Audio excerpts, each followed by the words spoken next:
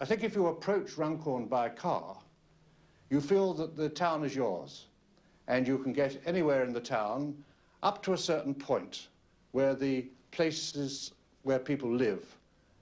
But if you approach by bus, you perhaps arrive at the city centre and there you get on a bus.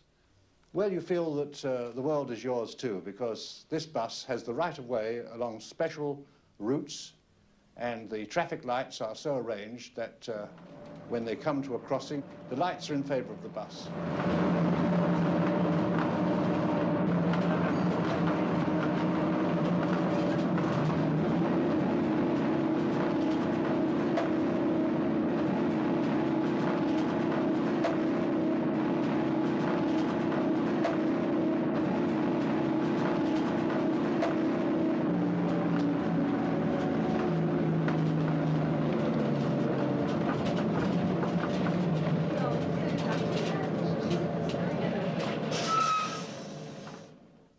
And if you are on foot uh, within the heart of the residential areas, you don't come across a car. You've got your special walkways.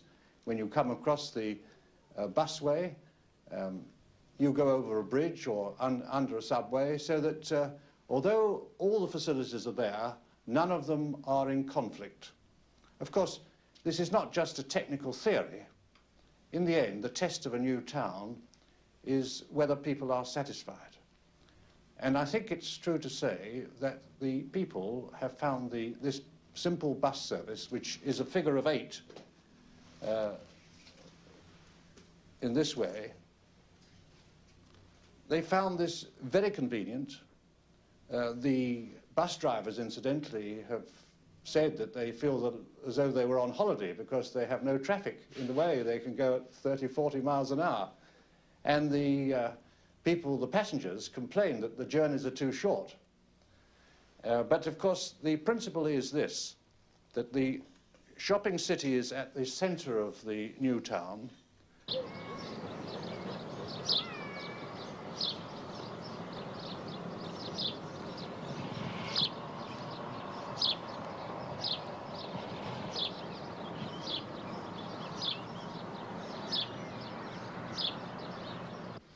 This is virtually a very large air-conditioned box which is split up into areas for shopping, social and commercial uses and is elevated above the ground by approximately 20 feet. All of the shopping takes place at this upper level, but storage and other uses such as cinemas, squash courts, entertainment, public houses can take place below this level, which is the level at which the ordinary vehicles service the centre. Pedestrians coming into the centre come into the corners from the valley side. They come along a horizontal footpath through the edge of the car park here and into the centre without having to go down or uphill. Likewise, the people on the busway come into the town centre on the busway here, get off the bus under cover and go down by escalator to the access level to the shopping.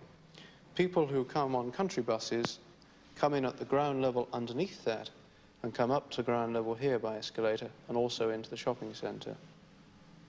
People coming to do their shopping trips by car come into, at present, the four multi-storey car parks sited in the four corners of the shopping area.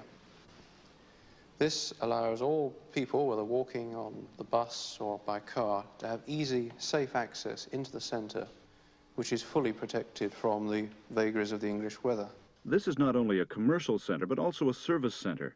Could you show us where both are located?